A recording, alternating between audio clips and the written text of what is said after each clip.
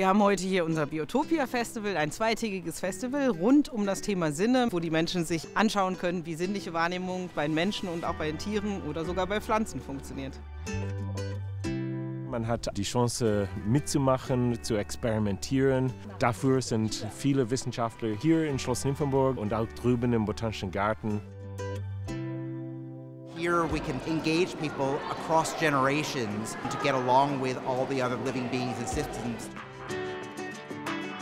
Biotopia Sense Festival is an amazing gathering of ideas so that everyone can be surprised and inspired. Ja, das Festival ist ein Festival für Jung und Alt natürlich, aber ganz besonders äh, für Kinder faszinierend. Wir empfehlen es auf jeden Fall weiter. Da kann man richtig viel lernen. Wir haben noch so Gerüche gemischt, so Waldgerüche, Meergerüche. Und Vulkan.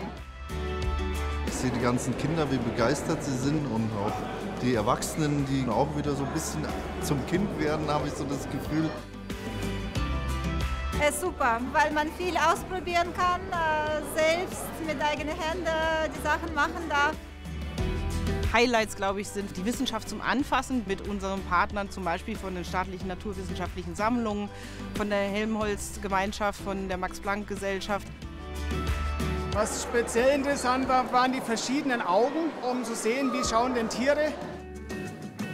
Viele Performances ja auch noch. Wir gehen jetzt gleich ins Kindertheater.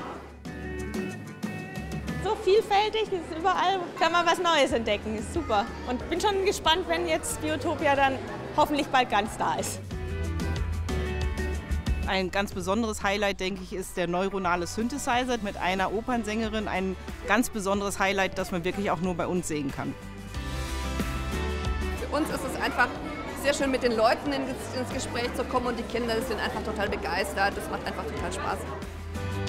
Es ist eine super Veranstaltung, viele Menschen, also sehr, sehr toll.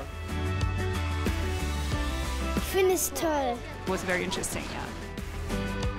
Das Festival ist wirklich ein kleiner Vorgeschmack von was man zu erwarten hat im neuen Museum Biotopia. Wenn die Menschen begeistert von Wissenschaft nach Hause gehen, dann haben wir eigentlich unser Ziel erreicht.